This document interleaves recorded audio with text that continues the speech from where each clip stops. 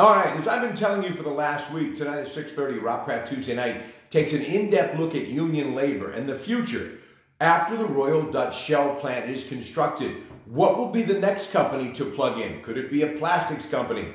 Well, the well possibilities are limitless. And one thing's for sure, union labor is ramping up, especially the Keystone Mountain Lakes Regional Council of Carpenters and what they expect to be a boom when it comes to union labor for many years to come. You know, there have been people who have said over the next 25 years that as many as 250,000 jobs could be created because of the footprint right now underway from Royal Dutch Shell and their $6 billion investment. Rick Okreshevsky set to join us tonight, although some business has taken that opportunity away. But joining us in his place will be Doug Martin, who's a council rep from the Keystone Mountain Lakes Regional Council of Carpenters. So while Rick works away and is away, we'll be joined tonight at 6.30 by our good friend Doug Martin as we talk Royal Dutch Shell, union labor, now, tomorrow, and beyond. That's Rob Pratte Tuesday night at 6.30 on KDKA Radio right after local news with Rose Ryan Douglas.